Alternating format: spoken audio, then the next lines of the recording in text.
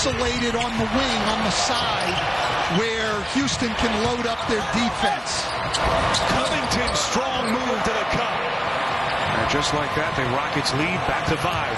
Series Hall winning the last two. And they're down three as we begin the second half. Three-pointer from the corner. That is Covington. Houston stand in the first half was just 6 of 22 from deep, 5 for 28 from 3. Covington on a corner three, splash! And a three-point halftime lead for Houston has ballooned to 18 points.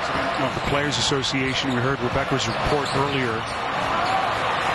He's been such a pro as Covington buries a three, getting himself, keeping himself ready you know, during the negotiation time as Noel able to deny Gordon. Outside to Covington.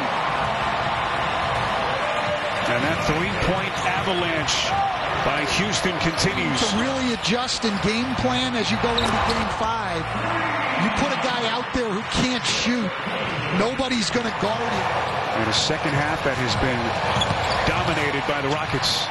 Ben McLemore, exquisite play to set up Covington. But that third quarter just completely took the sails out of the Thunder. Houston at that point was already rolling. And speaking of which, Covington, another three. Well, the one thing about Covington is even when he goes through tough stretches during the year, he will shoot the ball from three every time he's open, and that makes him very, very dangerous.